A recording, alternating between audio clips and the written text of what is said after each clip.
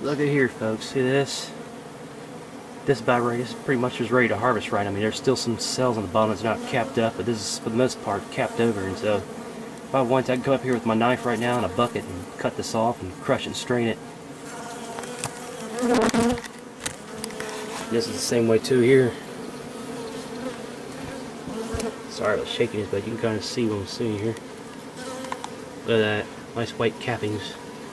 Still some that needs to be capped down below here, but the most part it's pretty ripe. And uh, The other hive back there, the other big top bar, has got a lot of honey too. And uh, right here, you can see how the bees got attached right there. That's a good thing because I think weighs about 10, 12 pounds or more. And uh, one of those areas of brace comb like right, like right here, that'd fall down into a big mess and have a problem like small hive beetles. So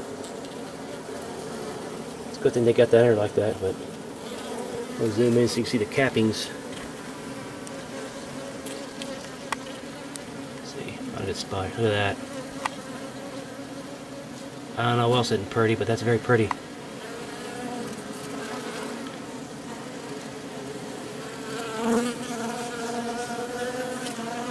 Unfortunately, I got some angry guard bees flying over me right now. So I want to back away and put this back together because they're getting kind of mean.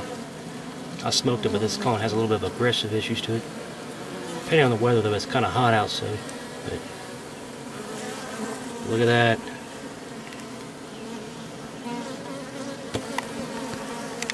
And right here, just look at that. I look forward to harvesting this honey. Only difference is with these hives here, you don't put, you don't decap it and spin it through an extractor. Instead of these, you just cut it off, bar, crush it and strain it. And of course the bees will have to rebuild that comb. But right now the yellow sweet clover is blooming pretty strong right now. That's what this is. This is locust and yellow sweet clover that they're bringing in and capping. So I got several angry bees right now in my face. So I'm gonna back away and turn off.